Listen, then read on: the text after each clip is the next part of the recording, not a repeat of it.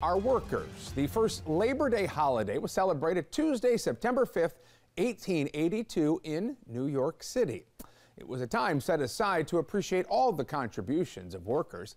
Then in 1894, Congress passed an act making the first Monday in September of each year a legal holiday known as Labor Day. But 70 years after the signing, workers were struggling to get ahead. That's why in 1964, President Lyndon Johnson declared a war on poverty.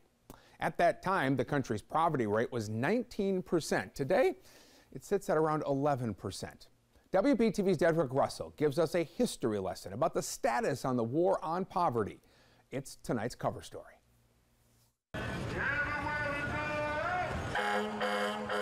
As we celebrate this Labor Day and honor the men and women who spend each day working to make a living, we can't forget many still struggle.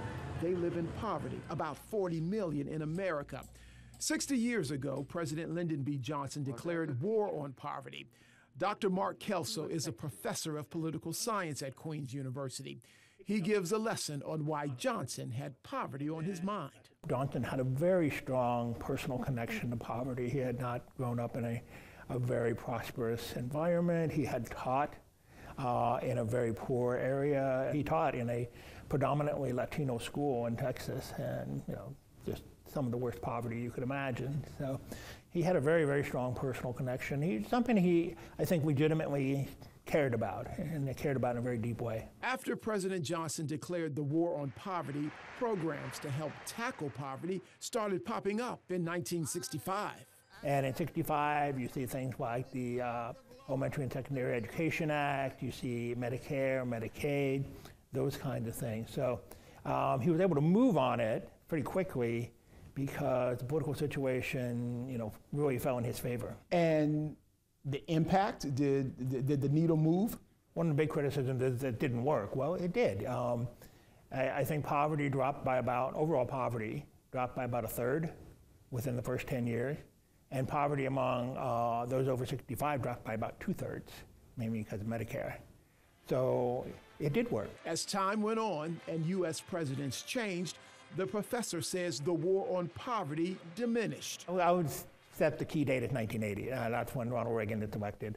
Um, and Reagan comes into office with a very kind of anti government mentality, um, very conservative economic philosophy. And that doesn't sit well with a number of things and, you know, war and poverty programs are, are one of them. There's this idea that people are just, you know, living on government handouts and stuff like that.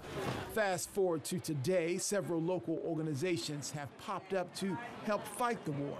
Are they enough to make an impact? Those are great. I mean, I'm, I'm nothing against charity or nonprofits, but they just don't have the, the resources that a government would. You had a question. One of those local organizations is Leading on Opportunity.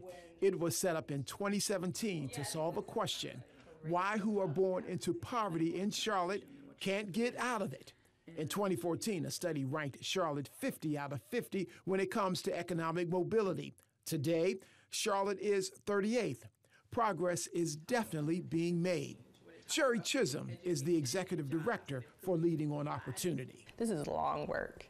And so while I know that there was potentially a commitment to having solved again what seems like an intractable issue like poverty, to me it's a reminder that we have to keep going. Leading on Opportunity looks for strategies such as building people's social capital and stabilizing families as ways to eliminate poverty in Charlotte communities. We help funders make smarter investments and nonprofits deliver um, strong programming. So I'm encouraged by our continued commitment and believe that we will make the change that we want to see happen.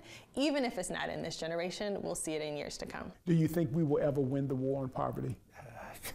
yeah, that's a hard question. uh, ideally, you know, I'd like to say yes, but probably no. I think poverty is probably going to be with us for a long time, unfortunately. In Charlotte, Dedrick Russell, WBTV, on your side. Looking for signs of progress, though. Uh, Dedrick, thank you. Let's get another check on our